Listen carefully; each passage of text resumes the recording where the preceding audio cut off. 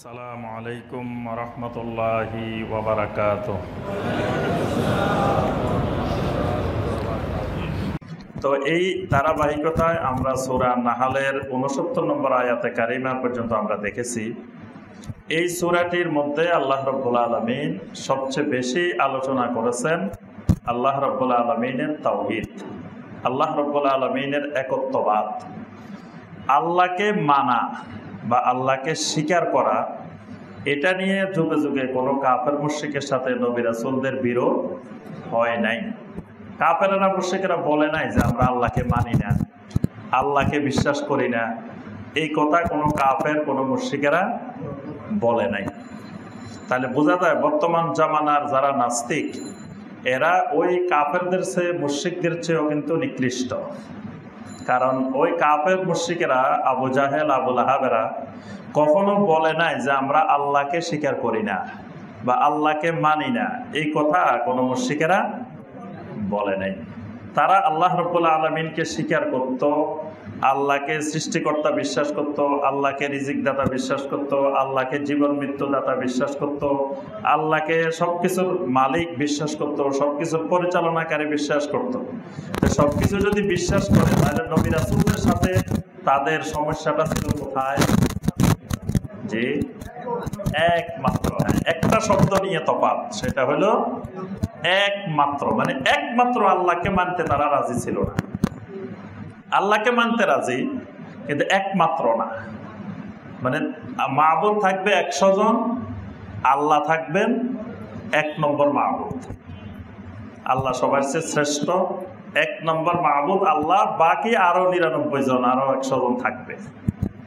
কিন্তু আল্লাহ রসুলদের দাওয়াত ছিল যে একজনও থাকা যাবে না।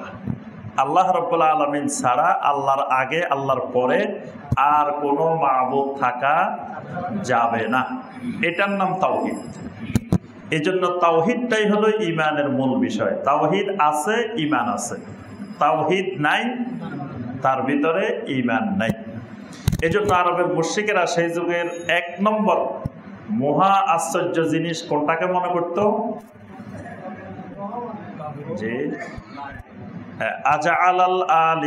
ইলাহা ওয়াহিদা।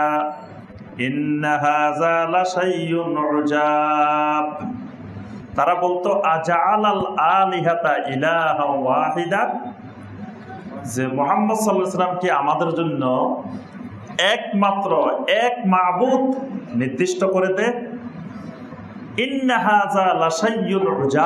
এটা তো হলো পৃথিবীর যত আশ্চর্যজনক কথা আছে, তোর মধ্যে সবচাইতে মহা আশ্চর্যজনক কথা। আরবের মুর্শিকেরা বলতো, এটা হলো লাসাইয়ুল ওজাব ওজাব মানে খালি আশ্চর্যজনক না, মহা আশ্চর্যজনক কথা এটা। তো কি বলে? আমরা চারিদিকে আমাদের এত মাহবুদ বানাই নিছি, একশো, দুশো মাহবুদ বানাই নিয়ে আমরা শান্তি পাই না। আর মোহাম্মদ রসুল্লাহ সাল্লাম এসে বলে, সব মাহবুদ ছেড়ে দাও, খালি একমাত্র মাহবুদ নির্ধারণ করো কাকে? আল্লাহ রব্বুল্লাহ আলমকে তো আমাদের এত হাজার বিপদ আপদ একজনে কেমনে দেখব। এটা তো মহা আশ্চর্যজনক কথা। কারণ আমাদের জ্ঞানের দেবতা একজন। তাহলে জ্ঞানের সমস্যা হলে তার কাছে গেলে জ্ঞান বাড়াইতে পারে, কমাইতে পারে। নামজুবিল্লা বৃষ্টির দেবতা একজন, তাহলে বৃষ্টির দরকার হলে তার কাছে গেলে মোটামুটি কিছু সমাধান পাওয়া যায়। তারপরে আপনার সম্পদের দেবতা একজন, সম্পদ দরকার হইলে তার কাছে গেলে পাওয়া যায়। বিপদ আপদে পড়লে তার কাছে গেলে পাওয়া যায়। এভাবে এক এক সমস্যা এক একজনের কাছে আমরা বাক করে করে মাহবুদ বানাই নিছি। আর মোহাম্মদ সাল্লাম বলতেছেন, না, সব বাতিল। একমাত্র হক, একমাত্র মাহবুদ হিসাবে আল্লাহ রব্বুল্লাহ আলমিনকে নির্ধারণ করা। এই কথাটাকে তারা বলতো এটা মহা আশ্চর্যজনক কথা।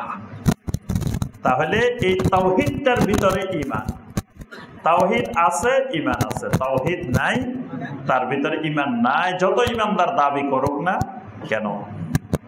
আল্লাহ রব্বুল্লা আলমিন এই সুরা নাহালের মধ্যে বিশেষ করে আল্লাহ রব্বুল্লা আলমিনের তাওহিদের বিষয়গুলোকে আল্লাহ পাক অত্যন্ত গুরুত্বের সাথে এবং আল্লাহ রব্বুল্লা আলমিন বান্দা যেভাবে বুঝে, এইভাবে সহজভাবে বান্দার আকলকে, বান্দার অনুভূতিকে, বান্দার ফেতরতকে নাড়া দিয়ে আল্লাহ রব্বুল্লা আলমিন তাওহিদের কথাগুলো বলেছেন।